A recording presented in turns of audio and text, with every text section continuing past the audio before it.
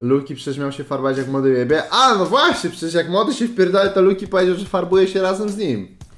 O co poszło z Epczanem? No nie wiem, mamy 2023 rok, a kurwa on dalej nie potrafi posprzątać po sobie po nagrywaniu swojego odcinka. I kurwa wchodzę do chaty i nie mogę nawet wejść po schodach, bo nie ma przejścia kurwa na schodach wczoraj w chacie. A co z innymi rzeczami? No nie chcę mi się, wkurwa na takie zachowanie. Przychodzisz do kogoś do chaty, nagrywasz odcinek,